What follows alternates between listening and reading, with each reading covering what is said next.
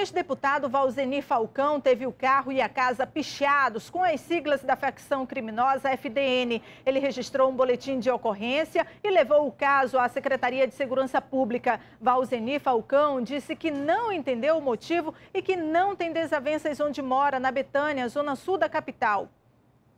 Começou a temporada de liquidações no comércio. É a oportunidade para quem guardou um dinheiro para comprar o que tanto queria. Desconto de 20%, 20%. Por todos os lados, placas e cartazes de descontos. São roupas, sapatos e até produtos da linha branca. Tudo com preços mais baixos. As festas de fim de ano acabaram e quem conseguiu dar uma segurada nas economias, esse é o melhor período do ano para fazer compras. Os lojistas precisam manter as vendas aquecidas e o centro da cidade, assim, movimentado. Então, quem está com dinheirinho sobrando vai fazer ótimas compras. Aproveitando a promoção, dando uma olhadinha.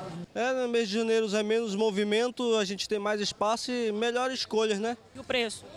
Muito em conta, 20% de desconto, a gente dá mais uma choradinha e ainda cai mais um pouco né, o preço. Segundo essa gerente, os lojistas têm ainda mais um motivo para melhorar os preços. Está tendo muito, muito crescimento de shopping, né? Muitos shoppings inaugurando. Então, para que a nossa realidade, nossa, que o nosso centro não caia. Então, isso também todos os lojistas estão fazendo isso.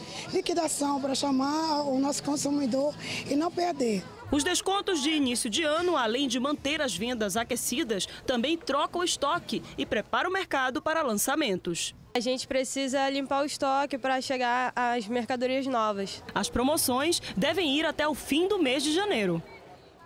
O ano começou com movimento nas livrarias e a busca pelo material escolar. A lista está 8% mais cara. A lista de material escolar da Ana Beatriz é extensa. 15 livros e quase 50 itens de papelaria. Ela foi com a mãe fazer as compras. Tem umas coisas que são caras, aí ela só deixa eu escolher umas que são mais baratas porque é a mesma coisa. A mãe justifica. Que ela também tem que ter essa consciência, aprender, né, desde cedo que a marca ela não é tudo. E além do material de papelaria, ainda tem a despesa com os livros. De livros da internet para loja física dá uma diferença de 200 reais. Eu gastei 1.100 de livros e chega a dar aí 1.400 reais se for comprar na loja física. O gasto com material escolar nesse período pode comprometer até 30% da renda familiar.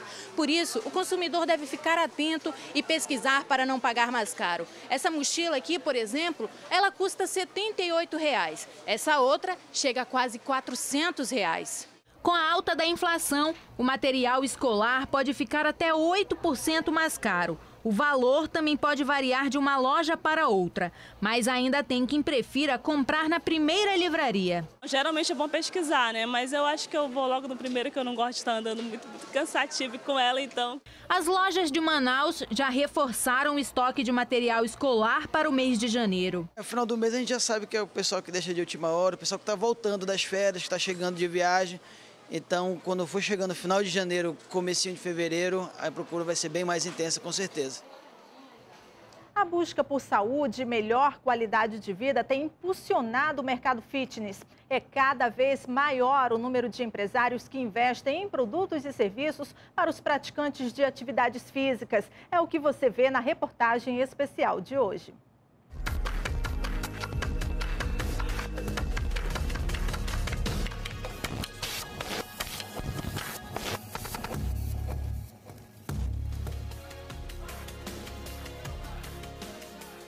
O objetivo é um só. Aquele corpo perfeito, aquela barriguinha sarada. Busca da corpo malhado, tonificado. Academias lotadas, o mercado fitness vai na contramão da tendência de recessão da economia brasileira e só cresce. A busca pelo corpo perfeito requer investimento. É tempo, dedicação e dinheiro para comprar roupas, tênis, acessórios, suplementos e por aí vai. Cada mês eu compro pelo menos uma roupa. Então todo mês eu estou comprando alguma coisa. O Brasil é o segundo maior mercado de academias de ginástica do mundo, só perde para os Estados Unidos. No país inteiro são mais de 22 mil academias. Aqui em Manaus, segundo o Conselho Regional de Educação Física, já são pelo menos 200. E grandes grupos empresariais estão investindo em popularizar a atividade física construindo academias na periferia da capital. Uma academia estilo low cost, né, com preço bem baixo, e para que dá oportunidade para qualquer pessoa frequentar. E por isso as academias no bairro, em cada bairro. As mais sofisticadas têm de tudo: lojas de roupas, suplementos e até espaço para deixar as crianças enquanto os pais se exercitam. Praticamente todos os bairros de Manaus têm pelo menos uma academia de ginástica. Os valores das mensalidades variam de 50 até 600 reais. E quem impulsiona esse mercado e o torna cada vez mais lucrativo é a mulherada. Gosta daquela ali, dá um jeitinho, vai lá e compra. Não tem data certa não. Passou ali na lojinha, viu? Gostou? Vem. Foram clientes como a Eliana que fizeram as irmãs Cristiane e Fábia mudarem de ramo. Uma era bancária, a outra trabalhava numa fábrica do Distrito Industrial. Há um ano largaram tudo para montar uma loja virtual de roupas para malhação. Em seis meses o negócio cresceu e a loja agora é real. Um mês, elas chegam a vender 300 leggings. As calças de ginástica são o carro-chefe da loja. É um mercado promissor, né? Hoje em dia, fitness ele não é apenas ir para academia, você tem que estar bem vestida, né, bem arrumada com as roupas da moda. Não pode repetir na academia. Jamais. Mas marombeiro que é marombeiro investe mesmo em suplementos. São proteínas, gels e dezenas de comprimidos voltados para complementar a dieta e melhorar o rendimento do treino. Neudson era personal trainer viu que o negócio valia a pena.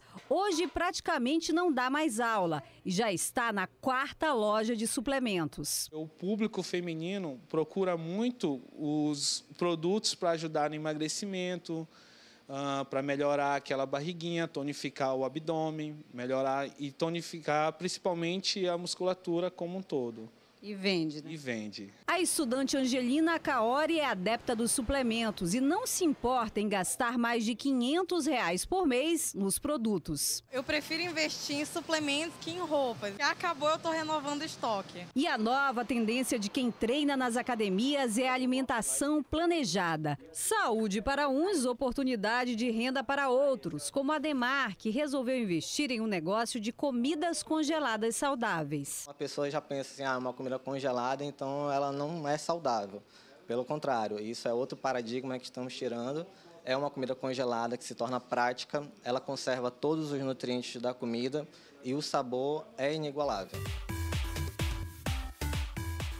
Só neste shopping aqui são quatro lojas de roupas esportivas, três só de tênis, uma academia, uma loja de suplementos e uma grande como essa aqui que vende todo tipo de material esportivo. E se vale a pena investir nesse mundo fitness? Vale e muito. O mercado movimenta por ano 2,4 bilhões de reais. E que tal um tênis de mil reais? Aqui os calçados esportivos são os mais vendidos. E claro, tem os mais em conta, a partir de 150 reais. Com amortecedores, design planejado para quem quer melhorar a performance nos treinos, eles são campeões de vendas. Em três dias a gente superou a meta que estava esperada para mais ou menos a quinzena, né? É, fazer exercícios é um bom negócio. Ganha saúde quem treina.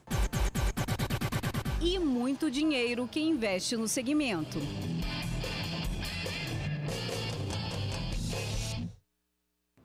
Obrigada a você que acompanhou esta edição do Jornal em Tempo pela internet. Até a próxima!